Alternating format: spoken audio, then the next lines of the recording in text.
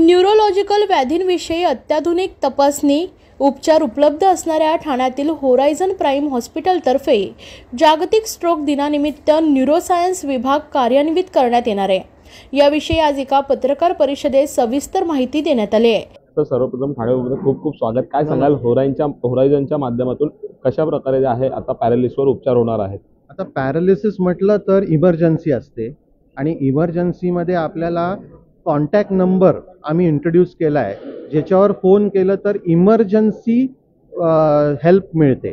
For example number आहे six eight five five six eight three five तर या नंबरवर कॉल केलं तर एक नर्स किंवा डॉक्टर इमर्जन्सी इन्फॉर्मेशन घेऊन पेशंटला ॲम्ब्युलन्स डिस्पॅच करू शकतो. आणि ॲम्ब्युलन्स डिस्पॅच केल्यानंतर पेशंट आल्यानंतर इथे रेडी राहतो की बाबा या पेशंटला काय त्रास होतोय त्याचे आपण त्या पेशंटसाठी इथे टीम रेडी असते.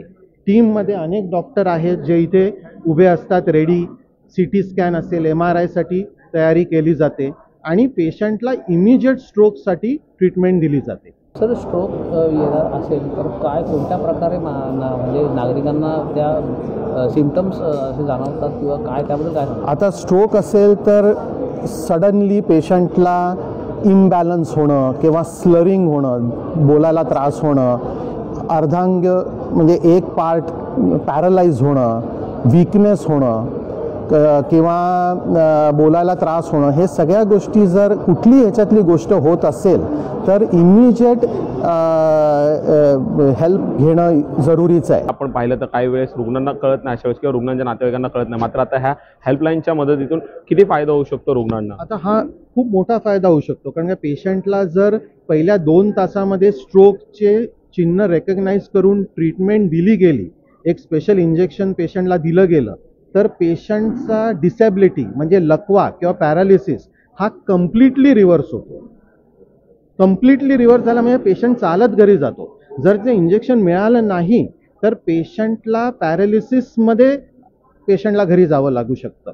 त्यामुळे कम्प्लिटली फायदा होऊ शकतो पेशंटचा असं. तर जर लकवा एखाद्याला जर मारला त्यावेळेस तो हॉस्पिटलला येणार. त्यानंतर आपल्याकडची कशा प्रकारची यंत्रणा सज्ज असते? म्हणजे मशिनरीज असतील किंवा डॉक्टरांची तज्ज्ञ डॉक्टरांची टीम असेल. आता ही अन- सगळ्या डॉक्टरांची टीम आपल्याकडे इथे आहे. त्याच्यामध्ये न्यूरोलॉजिस्ट आहेत दोघं न्यूरोसर्जन आहेत रेडिओलॉजिस्ट आहेत स्पीच थेरपिस्ट आहेत.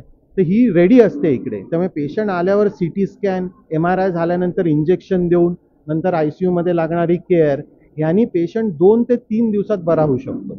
ॲज अगेन्स्ट द इंजेक्शन नाही मिळालं तर वीस दिवस तीस दिवस एवढं सगळं करून सुद्धा पेशंट मे नॉट वॉक त्यामुळे लवकर रेकग्नाईज होऊन लवकर पेशंटला हा इमर्जन्सी नंबरवर डायल करून ॲम्ब्युलन्स डिस्पॅच करून सी टी करून एम आर आय करून इंजेक्शन देऊन ट्रीटमेंट दिली जाणं जरुरीचं आहे. जसं डॉक्टर म्हणाले की लेंथ ऑफ स्टे कमी झाला की खर्च पेशंटचा कमी होतो. दुसरी गोष्ट पेशंट जर चालत घरी गेला तर तो पुढे वीस चाळीस पन्नास वर्ष काम करू शकतो. जेवढं करणार आहे तेवढं.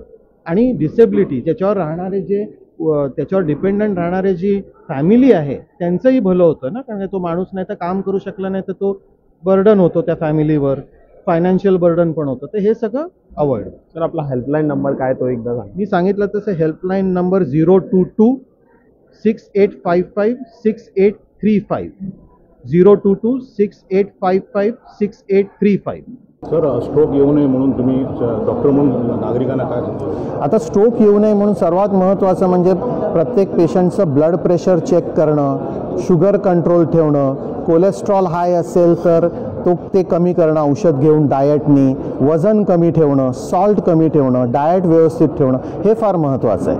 हे जर आपण केलं तर as a community as a country आपण स्ट्रोकचं प्रमाण कमी करू शकतो.